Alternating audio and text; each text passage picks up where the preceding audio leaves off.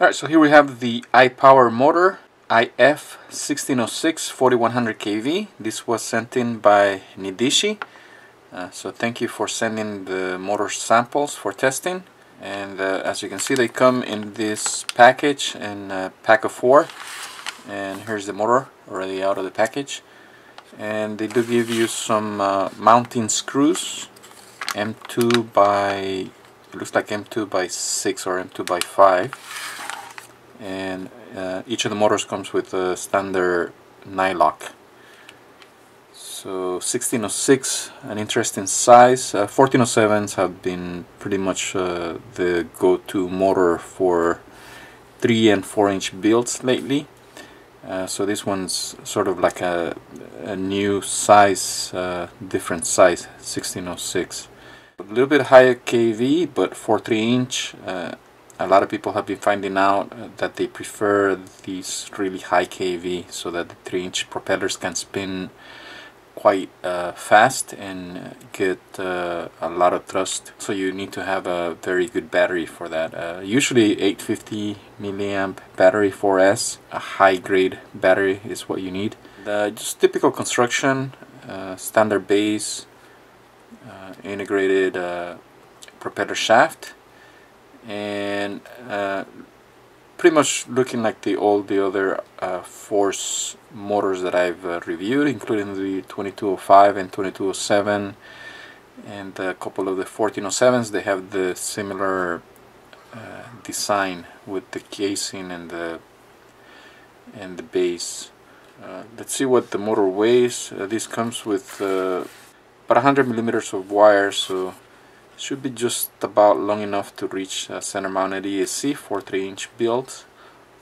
And it looks like that's 20 gauge wire. So plenty uh, plenty thick for this size motor. Let's see what it weighs. And that's with the 100 millimeters worth of wire. So with that much wire the motor weighs in at 15.9 alright so to make this 50 millimeters of wire we'll have to cut that much about 150 millimeters. So let's weigh that. That's about 0.9 grams so we'll tear that tear it to zero. So the motor would weigh in at 14.9 with 50 millimeter uh, worth of wire. So so pretty good weight actually not too bad. That's uh, around 15 grams. That's pretty reasonable for a 1407 size motor. This is a 1606 so just a millimeter uh, shallower here and a couple of millimeters uh, wider. Pretty good weight. The shaft is retained by a standard E-clip and it does have a little washer. I already took it out. So let's uh, pull this apart and uh, check it out on the magnifying glass Alright, so here's the motor with a closer look under the magnifying glass. So as you can see, nice finish on the armature of the motor. And uh, there you can see the air gap more or less. I don't know if uh, it's that visible.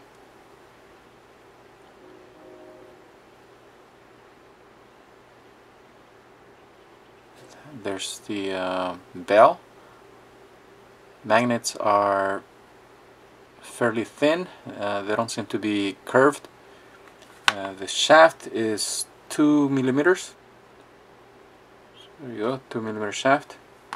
Standard bearings those don't know exactly the size but uh, let's see I never measure these small bearings. 2 by 5 maybe. Those are tiny and let's measure the height of the stator. Should be 6 millimeters. So that looks to be 6 millimeters. As you can see interestingly this motor has uh, the standard configuration of the larger motors uh, which is 12N uh, 14P so there's 12 stator coils here and 14 magnets so that's interesting. The one other mo motor that has a similar configuration is the new Brother Hobby 1507. All the other motors in this similar class size, uh, like the 1407 and 1306s, are 9N12P, so they'll have 9 stator coils and uh, 12 magnets. Alright, so let's uh, let's see what the motor can do on the thrust stand.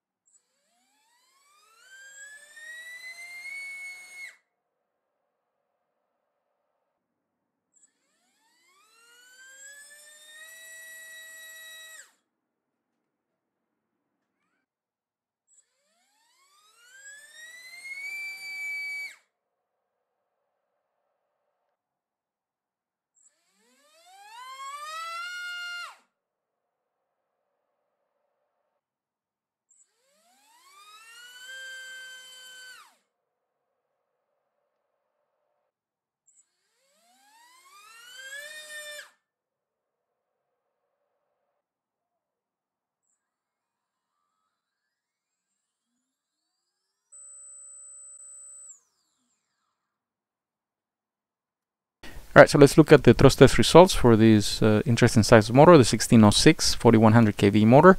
Uh, this one's from iPower, and the motor came in at uh, 4260 kV, so about 160 higher uh, so that's noticeable but uh, for this size motor on 3 inch prop is probably okay uh, a lot of people like to run these 3 inch props uh, at very high kVs so that might be a good thing for some so I went ahead and tested just a couple of the 3 inch props and a couple of the 4 inch props just to see where this motor falls into place against the, all the other motors uh, of similar size like the 1507 1407 so first prop here the 3030 by 3 this prop it's pretty light so it allows the motor to spin as fast as it can given the available torque. So 700 grams, that's pretty good. And amps are actually pretty manageable. Uh, you have to remember that all these amp uh, numbers are going to be a little bit exaggerated because this is static thrust. So in actual flight, these amps are going to fall quite a lot. It, it's going to be about 35% lower or so. And that's because, you know, the props unload in flight. Right here, they're static, just standing there. So they're able to grab all the static air compared to when you're flying. Air is moving through the blades, so it's not able to grab as much air.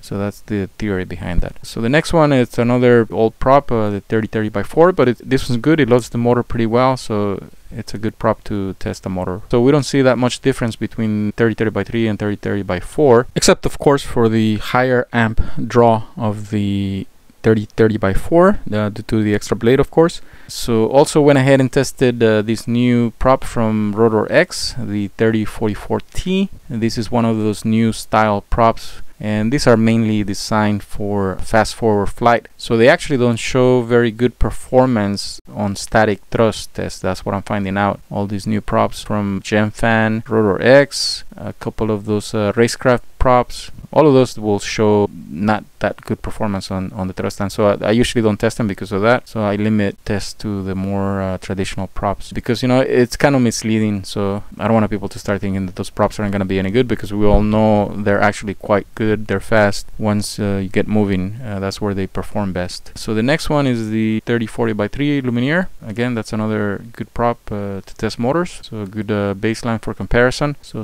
758, pretty good. Uh, that's roughly roughly around 50 more grams than a 1407. Of course, amps are slightly higher. And then the next one is the 4045, approaching 900. So that's pretty good thrust out of these 4 inch prop. But as you can see, the amps are getting up there. The, uh, that's due to the high kV. So with these high kV motors and 4 inch props, uh, we're going to get these very high amps. But as I said, uh, for these very high kV motors, when you when you're using them in the air flying, those amps are gonna come down quite a lot. And also remember that these are burst uh, max amps. So when you're just kind of flying at 50 75% uh, throttle uh, the amps are gonna be a lot lower way lower than that. I mean they could be even less than half this number And then the next one, another popular prop uh, for these uh, micro motors uh, is the Dal uh, T4045 V2, 961, so not quite one kilogram, but uh, very close. Amps also a little bit higher, but uh, I think still quite manageable. I think these should be okay with 854S LiPo it should be alright because I mean we're not gonna be 100% throttle all the time so uh, it should be okay and it, you know and when you go 100% of course it's not gonna be anywhere near this number here so overall, quite an interesting uh, size, uh, 1606. Uh, we're used to seeing uh, the 1407 and 1507 recently, a couple of 1408s, but here we have a, a 1606, so a different size. Uh, so there you go. That's the test results for this motor. Uh, hope you find the data useful, and until the next video, thank you for watching.